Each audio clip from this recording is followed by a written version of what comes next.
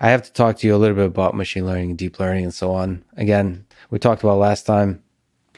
You have a set of beautiful videos on neural networks. Uh, let me ask you first what is the most beautiful aspect of neural networks and machine learning to you? Like, from making those videos, from watching how the field is evolving, is there something mathematically or an applied sense just beautiful to you about them? Well, I think what I would go to is the layered structure and how um, you can have what feel like qualitatively distinct things happening going from one layer to another, but that are um, following the same mathematical rule. Because you look at it as a piece of math, it's like you got a nonlinearity and then you've got a matrix multiplication. That's what's happening on all the layers. Um, but especially if you look at like some of the visualizations that uh, like Chris Olah has done with respect to um, like convolutional nets that have been trained on ImageNet, trying to say what does this neuron do? What do this uh, does this family of neurons do? What you can see is that um, the ones closer to the input side are picking up on very low level ideas like the texture, right? And then as you get farther back, you have higher level ideas like what is the where are the eyes in this picture, and then how do the eyes form like an animal? Is this animal a cat or a dog or a deer? You have this series of qualitatively different things happening, even though it's the same piece of math on each one. So that's a pretty beautiful idea that you can have like a generalizable object that um, runs through the layers of abstraction, which in some sense constitute intelligence, is having um, those many different layers of an understanding to something. Yeah, form abstractions in an automated way. Exactly. It's automated abstracting, which I mean, that just feels very powerful. Um, and the idea that it can be so simply mathematically represented. I mean, a ton of like modern ML research seems a little bit like you do a bunch of ad hoc things, then you decide which one worked, and then you retrospectively come up with the mathematical reason that it always had to work. Um, but you know, who cares how you came to it? When you have like that elegant piece of math, uh, it's hard not to just smile seeing it work in action. Well, and we talked about topology before. One of the really interesting things is that's beginning to be investigated under kind of the field of like science of deep learning, which is like the craziness of the surface that uh, is trying to be optimized uh, in neural networks. I mean, the the amount of local minima, local optima there is in these surfaces, and somehow a dumb gradient descent algorithm is able to find really good solutions. That's like that's really surprising.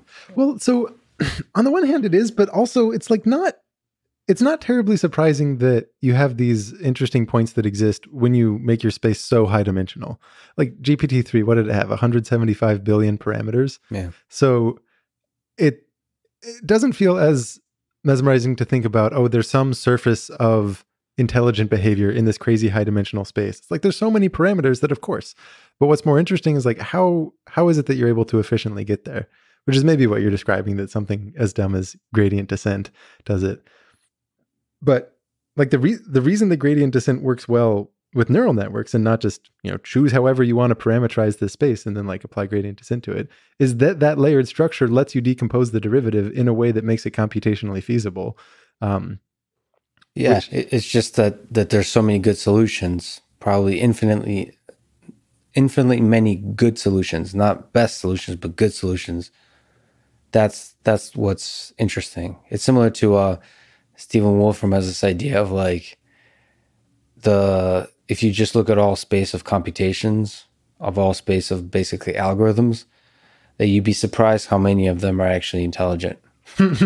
like if you just randomly pick from the bucket, uh, that's surprising. We tend to think like a tiny, tiny minority of them would be intelligent, but his sense is like it seems weirdly easy to find computations that do something interesting. Well, okay, so that from like a Kolmogorov, Kolmogorov complexity standpoint, almost everything will be interesting. What's fascinating is yeah. to find the stuff that's describable with low information, but right. still does interesting things.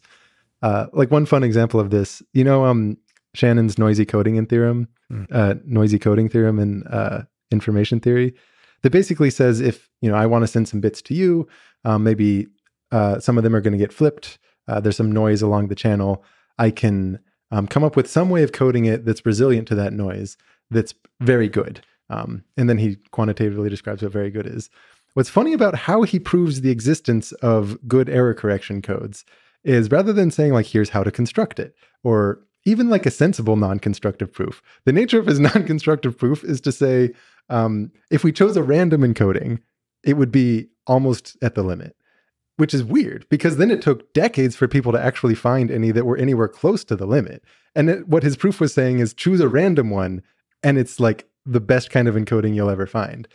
But what's what that tells us is that sometimes when you choose a random element from this ungodly huge set, that's a very different task from finding an efficient way to actively describe it. Because in that case, the random element to actually implement it as a bit of code, you would just have this huge table of like um, telling you how to encode one thing into another that's totally computationally infeasible. So on the side of like how many possible programs are interesting in some way, it's like, yeah, all, tons of them. but the much, much more delicate question is when you can have a low information description of something that still becomes interesting. And thereby, that kind of gives you a blueprint for how to engineer that kind of thing. Right. Yeah. If Chaos theory is another good instance there where it's like, yeah, a ton of things are hard to describe, but how do you have ones that have a simple set of governing equations that remain like arbitrarily hard to describe?